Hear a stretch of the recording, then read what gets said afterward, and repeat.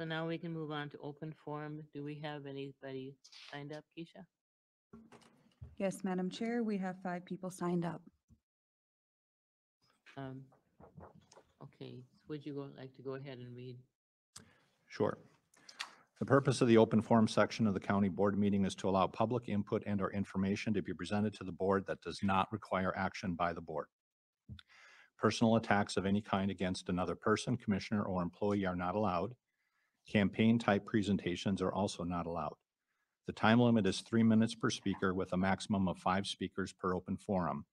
The time limit may be shortened or extended at the direction of the board chair. Discussion that requires additional time beyond the original 15 minutes will be recessed to can continued following the conclusion of the required board meeting, business meeting agenda items. All input or information is to be addressed to the Board of Commissioners and not to members of the audience. Speaker handouts are public information. The county may make copies of such handouts for the public if needed. And Finally, the board chair will ensure that the open forum policy is followed. Oh, thank you.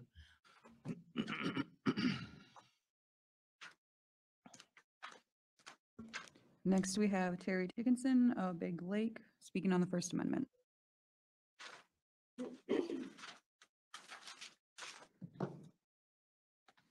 First Amendment, Congress shall make no law respecting an establishment of religion or prohibiting the free exercise thereof, or abridging the freedom of speech or of the press, or the right of the people peaceably to assemble and to petition the government for a redress of grievances.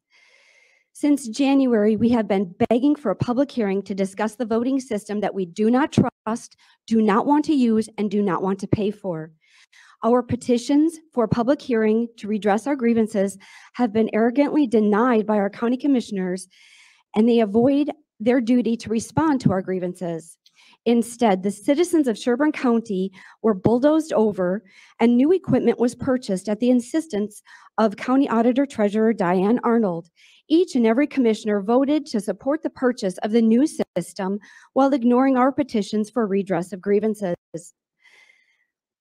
The system cost over $654,000 in December of 2015 for the 2016 election, and I have heard rumors that the new system is around $500,000.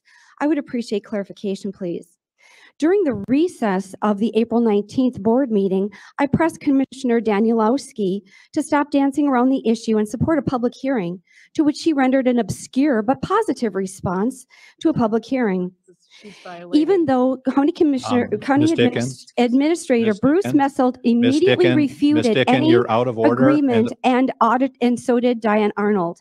Still, my county commissioner had given an obfuscated agreement to the public hearing, so I followed up with emails to her and the scheduler on April 27th and 28th. Ms. Dickin, I you are never out of order. received a response for You've- Commissioner the board Daniel. is- the board- Excuse me, sir, board I'm a chair- public, Ms. excuse Dickin, the board sir. chair has, excuse me, sir. no, I Ms. I am an American you are out of and I- order. I am not, bailiff, I- would you help this, uh, Sir, Ms. just a minute. please? I never received a response from County Commissioner. Danielowski, but I received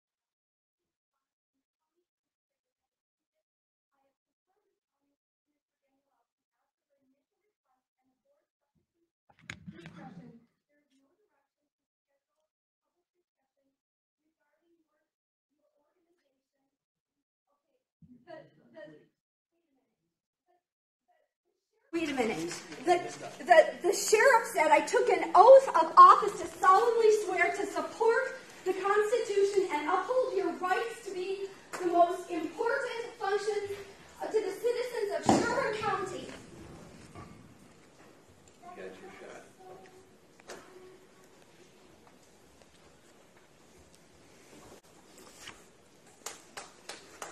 I think now we will move forward with our uh, regular agenda.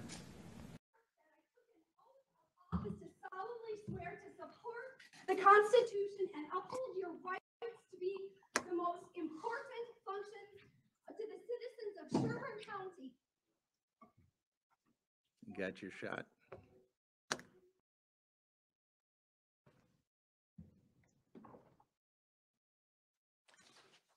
I think now we will move forward with our uh, regular agenda.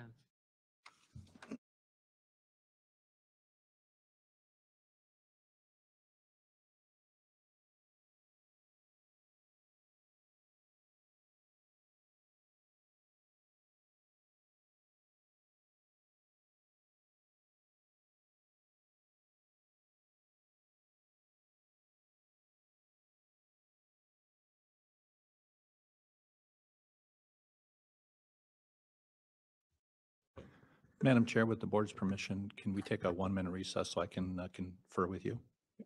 Sure. One minute recess, we'll be back. And um, pursuant to board policy, uh, does allow for reopening of the open forum at the end of the business meeting. Uh, Ms. Dickon has indicated she would like to finish her comments. She's been made aware of the policy and the particular issue of personal attacks against commissioners or employees. And I believe she will be able to finish her remarks. Uh, I think I have the time at about a minute and a half, so we'll complete it with about another minute and a half, Ms. Dickon, if you're available. Uh, I think we had the first half, so uh, to be fair, Ms. Dickon, to be fair to everybody, let's stick to one and a half minutes, okay?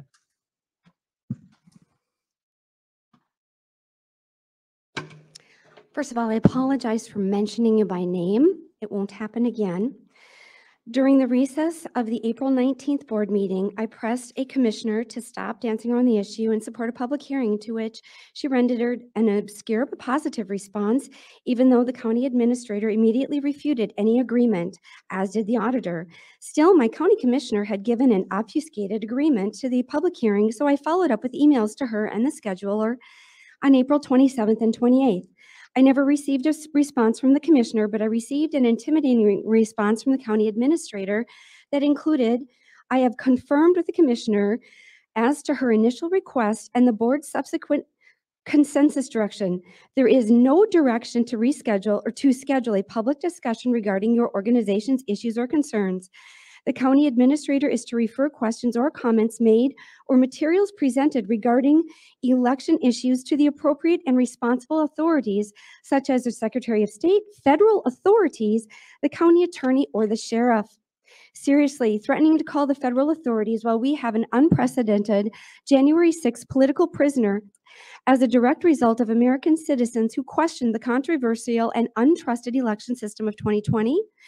Go ahead, refer to this to Sheriff Joel Brott, whose 2020 statements included, I took an oath of office, solemnly swearing to support the Constitution and upholding your rights to be the two most important functions I have to the citizens of Sherburne County.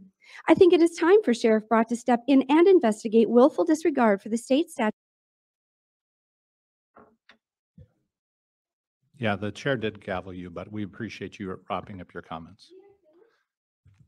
It's up to the chair. I'll defer. I think we've given you opportunity to address your issues, and I think we'll close the open forum now.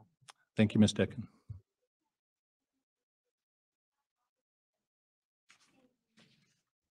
I think you need your coffee cup. Your water bottle, something, so, oh, okay. Okay, now we can adjourn our regular meeting. Yep. And we're going to